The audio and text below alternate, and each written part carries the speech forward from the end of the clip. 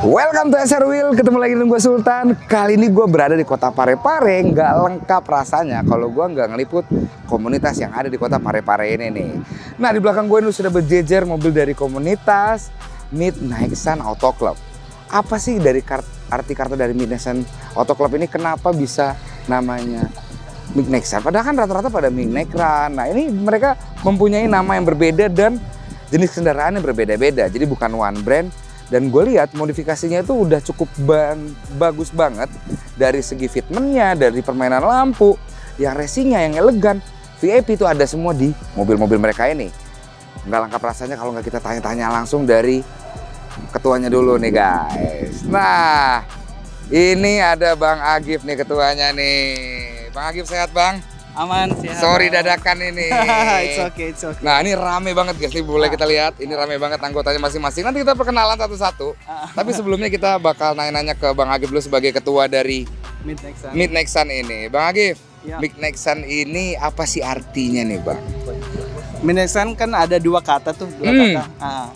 Midnight itu kan tengah malam. Tengah malam Nah, benar. mayoritas kami punya Hmm. waktu untuk nongkrong, kumpul segala macam. Memang di tengah malam karena Emang tengah malam. siangnya itu kita sibuk kerja pada cari Oke. rezeki gimana gimana gitu. Ah, Nah, terus sunnya kok tengah malam ada matahari kan? ah, Nah, filosofi singkatnya sebenarnya supaya semangatnya sama seperti pada siang hari cari rezeki untuk. Oke.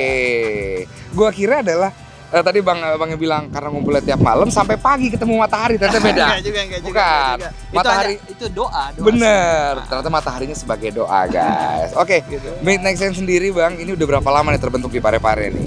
Eh, Bindeksan itu sekarang sudah 5 chapter, eh, 6 chapter. 6 chapter dan sudah berapa lama berada di sini nih? Di 2021 bulan 5 kemarin ya dua tahunan lah. Udah dua tahunan. Nah, 5 chapter sendiri itu di mana-mana aja tuh? Kan Bindeksan berawal dari Pinrang. Pinrang. Habis itu Parepare, Hmm, Sidrap, Makassar, Kendari, Bone.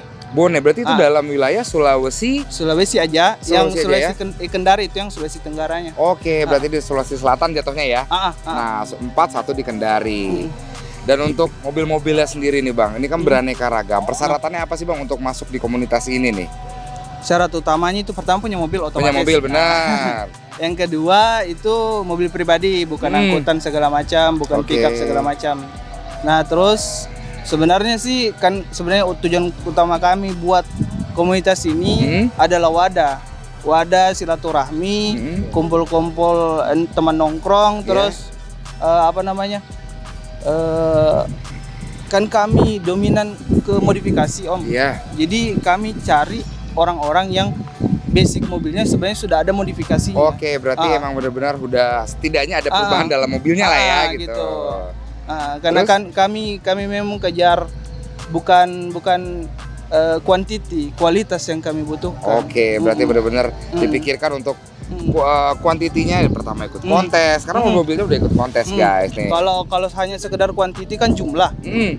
itu poin sekian-sekian hanya Oke. bonus sebenarnya tuh. Nah, Hmm. guys. Jadi benar-benar yang gue dijelasin di sini benar-benar yang kita tidak memandang perbedaan tapi Hmm. kualitas dari masing-masing Individunya. orangnya, Ah. individunya dan mobil-mobilnya juga Hmm, nih. hmm. Nah, kita bakal tanya-tanya aja. Mendekat ke satu-satu akan gua panggil. Yang punya mobil ini siapa nih? Ini siapa? Abang punya yang Civic FD? Iya, saya. Nah, Bang Bang Agif, Ah, ini mobil Civic FD tahun berapa? Tahun 2010, Bang. 2010. Hmm. Kenapa milih Civic FD? Pertama masih worth it dipakai harian. Waktu itu pakai harian. Yang kedua model nggak nggak nggak jadul-jadul banget sih. Hmm. Nah, masih keren lah Masih untuk kalangan keren. pemuda gitu. Ini manual matic? Manual bang. Oke, kenapa modif eh, udah ber- berapa budget untuk modifikasi mobil ini? Ini kebetulan mobil baru sekitaran 3-4 bulanan lah bang. Budgetnya Untuk- berapa? Untuk sekarang sih paling yang eksterior ya sekitaran s- 12-an lah. 12 15. Ah, Ah, 15 lah, anggap Ah. 15 juta.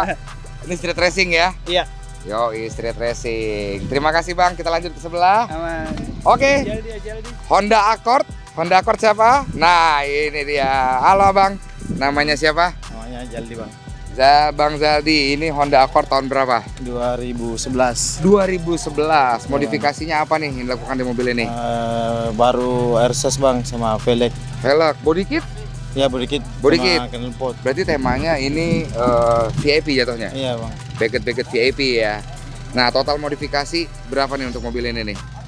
Ah nggak usah baru seberapa bang. Kisaran harga lah. Ah, sekitar 30-an lebih lah. 30-an juta. Oke, terima kasih banyak Bang sekali lagi. 30-an juta udah jadi seperti ini nih guys. Selanjutnya ini ada Toyota Rush. Ah, ini ownernya. Halo Om, namanya siapa Om? Raha. Om? Raha. Om Raha. Om Raha, mobil Terios di belakang ini gue lihat udah pakai velg HSR nih. Iya. Ini kenapa Om lebih milih melihara mobil Rush ini nih Om? Ah, ini kan pertama ini kan milik pribadi. Milik pribadi. Ah, kemudian kami lihat eh, itu milik ASR itu Hmm. memang eh, agak bagus sekali ya.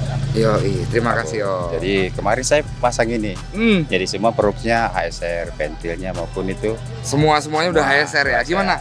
Menurut Om hadir toko HSR di pare-pare. Pare-Pare gimana nih Om? Ya lebih bagus dan Hmm. terjangkau juga kalau kita mau beli eh, apa namanya eh perfectnya itu Hmm, ya udah ada langsung udah, di toko udah ya. langsung di toko, tidak jauh ke Makassar lagi. Oke, siap. Terima kasih banyak nih Om sekali lagi. Terima kasih. HSR memang mantap. Haha, Keren. Sip. Selanjutnya ada ini Exover. Exover.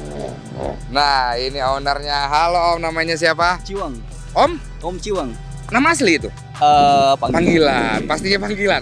Itu kalau di ijazah Cuang keren juga. Om Cuang, ini mobil Exover tahun berapa? 2007. 2007. Oh, udah cukup lama juga. Kenapa Om lebih milih mobil Exover ini? Eh kan dikatakan mau bawa bapak. Oh, benar, mobil bawa Iya. bapak yang susah dimodif lah gitu. mm, dari yang di apa? Di luar pasaran anak Hmm. muda lah. Makanya coba. Coba dan akhirnya lu modifikasi apa aja nih mulai dirubah nih?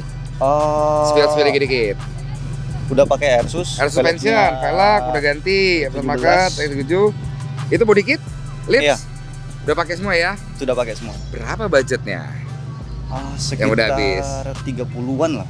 30 jutaan. Nah, ini salah satu yang keren, Exover. ini nyetel sih. Jarang-jarang yang begini. Oke, terima kasih Bang Iya. sekali lagi. Oke, selanjutnya ada Yaris Bakpao. Ini Yaris Bakpaunya sengaja dihidupin emang kedengar nih racing-racingnya ya. Oh, ini ownernya nih. Halo Bang, namanya siapa? Ai. Bang Ai. Iya. Sesingkat itu nama lo? Eh, nama panggilan. Nama panggilan. Tadi cuang ini Ai.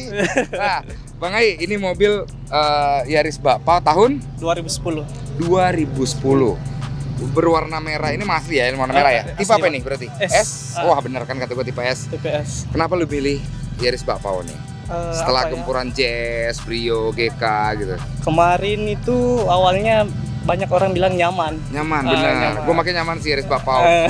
lacinya banyak betul betul. sampai ke depan setir pun ada lacinya gitu kan Betul betul. Hmm, Banyak banyak tempat-tempat barang-barang bisa benar modifikasi udah apa aja nih Eh, X-bar, hmm, jok sudah diganti, velg velg sama coilover. coilover udah pakai mesin Ah, mesin belum. mesin belum. Setelan racing aja dulu Iya. ya kalau ajak kebut mah ayo ayo juga. Total modifikasi sudah berapa nih? Eh, 15-an lah. 15 jutaan. Budget anak sekolah ini. Iya. kebetulan sekolah kuliah? Eh, udah kerja. udah kerja. Boleh bang. Terima kasih banyak sekali lagi. Nah ini setelah Yaris berwarna merah ada GK5 yang pakai lampunya udah pakai nyebutnya apa? Nanti kita tanya orangnya. Ini dia. Halo om. Namanya siapa om Om Anto. Om Anto. Om Anto ini mobil Jazz GK5 tahun berapa nih? 2015 2015 alasan om memilih mobil GK5 2012 kenapa nih? Eh, karena sekarang sudah banyak anak muda yang pakai Honda Jazz jadi saya memilih lebih Honda Jazz Iya, karena udah nggak ada barunya lagi Om ya. Honda Jazz udah berhenti. Penerusnya si Tina. Ini modifikasinya apa aja nih Om yang Om lakuin di mobil ini? Ini? saya sudah upgrade pakai ini bumper faceliftnya. Oh, bumper facelift. Oke, terus dan terus saya sudah upgrade juga memakai Asus air suspension. 4 titik, 2 titik? 4 titik 4 titik. Habis itu? Eh, sama jok yang di dalam Oh, joknya udah ganti ya walaupun kasih film gelap nggak apa-apa, joknya udah diganti. Lampu, lampu. lampu ya sudah diganti juga Oh, ini RGB namanya gue baru inget namanya RGB Oh. lampunya yang begini-begini nih. Ini ini di pare-pare, di custom. di pare-pare Wow, nama bengkelnya apa? Eh, Ipang Ipang Ipang. Ipang Garage Ipang Ipang Gerets ya, Ipang Gerets tuh. Ada Instagramnya nih nanti kita cari di Ini Instagram Ipeng Geres. Oke, modifikasi berapa nih? Udah habis. Eh, hampir 50 lebih lah. Hampir 50 juta lebih. Oke, Om malu-malu nggak apa-apa. Oke, Om. Thank you, thank you. 50 juta aja. Selanjutnya ada Brio. Ini katanya statik chamber ya kan, bukan airsas. Ownernya mana? Wah, Om, Om. Om? Opik ya. Wah, ini lagunya lagu-lagu adem ini kalau Opik ini.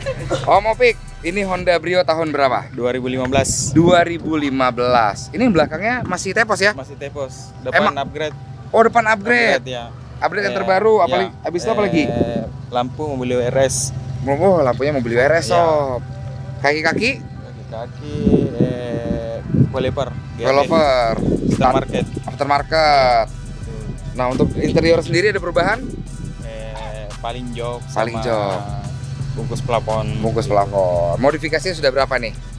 Ya, budget-budget anak sekolah. Berapa? 20-an. 20-an, kayaknya bohong 20-an. Lampu, start, velg, apa velover aja nggak nyampe, udah lebih 20 itu. Kondisi bohong. Jujurnya berapa? Ya, 40. 40 kan? Oke Om, terima kasih. 40 juta sob. Selanjutnya ini ada Agia, Agia. Eh, ha. ownernya mana baru datang nih terlambat dia tadi nih. Namanya siapa? Anjas Kerman. Hah? Anjas Kerman. Anjas Kerman panggilannya? Anjas saja. Anjas sama saya Kerman. Abang Anjas, ini mobil Agia tahun 2016 2016. Kenapa alasan milih mobil Agia ini? karena itu kan kalau Brio sudah mau banyak. Karena udah ada temennya make, Iya. ngapain kita make juga ya? Banyak. Kalau Agia kan dimodif kalau bagus. Ganteng ya? Iya. Nah, apa aja yang dimodif nih? Velg, interior, Hmm? itu aja Itu aja lampu, lampu standar standar. Udah berapa habis duit di sini? sekitar 10-an lebih. 10 juta lebih. Oke, terima kasih Bang Anjas sekali lagi. Nah, guys, itu tuh. Udah gua spill modifikasi-modifikasi dari komunitas Minexun Auto Club di Parepare. Gimana teman-teman sekalian?